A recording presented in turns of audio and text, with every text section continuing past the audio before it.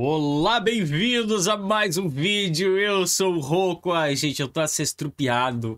Tá, acabou de sair aí o trailer de jogabilidade, gente. Estou gravando aqui na quinta-feira a narração desse vídeo. Eu tô feliz, tá? Tô feliz. Eu acabei também, tô fazendo upload agora do vídeo de análise completíssima do trailer aqui no canal, tá bom? E eu tô surtado mesmo, gente. Tô surtado. Não vejo a hora aqui, ó, de terminar essa narração para começar a fazer um cemitériozão aí, agora que a gente viu o lote de cemitério. Deu pra ver que é um lote bem grandaião. Ai, cara, que alegria na vida, não tem nem o que falar, meu Deus do céu. Mas antes, gente, claro, se você não é inscrito no canal, se inscreva para não perder mais nada que nos aguardam daqui a algumas semaninhas, alguns dias já aí com a nova expansão The Sims 4 Penacova. Lembrando que vamos ter aqui no canal sorteio dessa nova expansão. Então se inscreve para não ficar de fora, deixa um like nesse vídeo também e acima de tudo, se você puder, assiste o vídeo até o final, mesmo que seja numa outra aba ou deixando ele no mudo mesmo, toca no mudo aí ou toca no acelerado acelerado, não tem problema, mas deixa até o finzinho porque me ajuda muito, muito mesmo. E agora eu vou ler um comentário que foi deixado no nosso último vídeo de Speed Build da casinha inicial. Gente, vocês curtiram a casinha inicial? Eu vi que tiveram pessoas ali falando, Roco, traz mais casa inicial, por favor, tu quase nunca traz. Vocês curtiram mesmo, mesmo? Deixa o feedback aqui embaixo, porque se vocês realmente estiverem interessados, eu vou trazer mais casinha inicial. O pessoal da live eu sei que gostou bastante lá da gameplay, né? De, de live, assim, construindo casa inicial. Mas quero saber de vocês aí que curtem mais os vídeos de speed build. Então, me deixa aqui nos comentários que o feedback de vocês, claro, sempre é muito crucial aqui na hora de eu trazer o conteúdo. Mas vamos lá, gente. Comentário da Eri Gomes. Roquito, tô vivendo só pra ver seus cemitérios e tô morrendo de ansiedade com essa expansão. Meu Deus do céu, gente. Olha, eu queria dormir hoje e acordar já no dia aí, tá? Pra gente jogar. Cara, meu Deus, eu não vejo a hora. Eu não vejo a hora de ver os, os objetos. Que linda aquelas lápides novas que estão pra vir, gente. Eu quero tanto construir logo. Meu Deus do céu. Uh, ai, sei lá, gente, tá tudo muito maravilhoso. Aquele mundo lá, meio que dos mortos, assim, todo sombriozão. Eu não vejo a hora de ver melhor ele, poder ver todos os cantinhos assim. E eu vi, depois eu, eu falei, né, que não parece que não tinha árvore seca nova, mas eu vi uma que parecia nova lá no meio. Depois eu dei uma reparada, assim, parecia uma árvore seca nova. Então já fiquei super empolgado, porque ela era bem bonitona. Uma coisa que eu gostei demais é que no novo mundo, lá pelo que a gente viu no mapa, ele tem muitos lotes grandes. Isso aí vai ser maravilhoso para a gente conseguir fazer umas mansão vitoriana, uns castelos, sabe? Umas coisas meio romena, assim, com inspiração, sabe? Vai ficar muito legal, gente. Eu não vejo a hora de começar a fazer umas casas assim, sabe, com uma pegada vitoriana e meio macabra por trás também. Os objetos lá para construção também, eles estão contribuindo demais para uma pegada assim que, sabe, que vai encarnar bem o espírito mesmo assim trevoso. Ai, cara, eu não vejo a hora aquelas janelas lindas lá. Meu Deus, gente, eu sei, eu só tô falando disso, eu tô louco ainda aqui. Tô a Lucy Crazy, tá? Quero assistir o trailer mais uma vez daqui a pouco. é isso. Gente, inclusive, até refletindo já nesse vídeo aqui, nessa construção, porque eu comecei tentando fazer um palácio bem de boinha, né? Foi lá em Del Sol Valley até, no lote lá da Cláudia Menescal. Fui fazendo uma coisa com branco, assim, e daí eu pensei, cara, vou fazer um cemitério trevoso. Vou fazer um cemitério ali horripilante. Um cemitério não, eu tô com o cemitério na cabeça. um palácio horripilante macabro, assombrado, uma coisa assim, porque eu nunca trouxe. E palácio mesmo, eu já trouxe dezenas aqui no canal. Então, foi a hora dele, tá bom? Foi a hora dele. É claro que depois eu tive que migrar, tive não, né? Mas eu quis migrar aqui pro lote da casa do Vlad, porque ele contribui demais com essa estética, fica bonitinho. Ele tem os cemitérios com essas lápides defasadas, já vou chamar aqui de defasada essas lápides, porque a gente tá recebendo muita lápide nova. Então, elas têm ali ao redor já para contribuir para essa estética eu amo. Ser bem sincero para você, gente, que uma coisa que eu queria muito, que eu fiquei pensando que agora, que viesse na nova expansão, é, é, um efeito. Sabe aqueles efeitos que a gente tem que é de acrescentar é, libélula, acrescentar vagalume, aquelas coisinhas, pato, eh, cisne, sabe? Eu queria que a gente tivesse um efeito desses que fosse para acrescentar névoa. Cara, ia ser sensacional, sensacional. Eu sei que a gente tem isso com mod, né? Mas eu queria que viesse nativo do jogo mesmo, pra gente colocar umas névoas assim. Meu Deus, isso aí ia ser algo que eu ia ficar enlouquecido. Se tivesse, eu acho que ia ser o meu objeto favorito de todos, de verdade. De todos que virão assim na expansão, que eu nem sei ainda direito o que, que vai vir. Mas se viesse isso aí da névoa, eu ia pagar pau demais, tá? Porque eu ia querer colocar tudo nesses mundos assim de vampiros, assim. Se bem que esse daqui já tem uma névoazinha. Mas eu iria deixar o tempo todo, sabe? Com aquela névoa assim durante o dia, durante a noite, o tempo todo. Carregar bastante também, colocar mais do que a gente tem fazer umas casas assombradas, não sei, ia ficar muito legal. Um pântano também, às vezes nem precisa ser assombrado, mas só de ser um pântano com névoa, assim, ia ficar incrível. Eles deveriam colocar isso aí pra gente. Vai que vem, né? Não sei, eu acho que não. Mas quem sabe? Tem um lotezinho agora, falando aqui ainda da nova expansão, que eu achei que talvez ele é meio pequeno, que ele pode ser meio pequeno e acho que é um pouco assim, não tão grandalhão.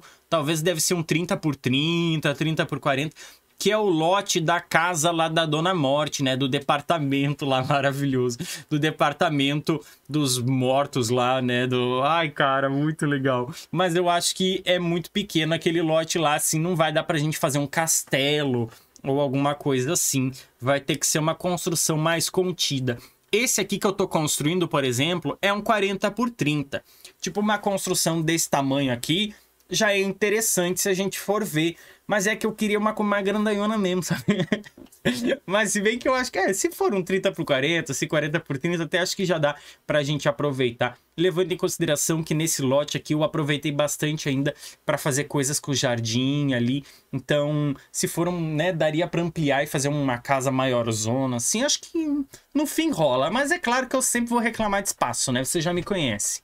Só queria dizer para vocês também uma coisa ainda nesse assunto que eu não vi ainda, não vi nada, não foi postado por enquanto no momento da minha narração aqui sobre a live dos produtores jogando com a nova expansão. Mas já tô avisando aqui, trazendo para vocês que quando acontecer essa live, eu vou fazer uma live no meu canal aqui de cobertura, tá bom, pessoal? Trazendo todas as informações ali, bem certinho, uh, surtando com vocês, né? Essa live, ela costuma acontecer sempre ali por volta das duas horas da tarde, três horas da tarde, às vezes uma hora. É por volta da tarde sempre. Então saibam, acredito que ela vai acontecer na semana que vem, até porque a gente já tá próximo do lançamento, se a gente for ver. Uh, mas é isso, tá? Já tá avisado aí para todo mundo, vai ter livezinha de cobertura aqui no canal. E agora sim, eu juro que eu vou falar dessa construção aqui, tá? Já disse que ela começou como, como se nada fosse, como um paláciozinho bem de boa ali, mas eu quis transformar em algo mais trevoso, porque eu tô muito nesse, nessa vibe, gente.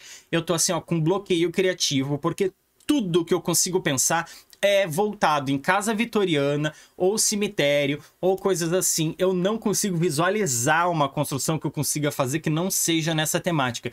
Então tá bem difícil até para mim. Ontem eu fiquei tanto tempo pesquisando, gente, pesquisando inspiração, mas eu sempre acabava caindo em construção com essa temática, mas eu não quero queimar a largada ainda. Eu quero esperar o um novo pacote para começar. Mas tá complicado.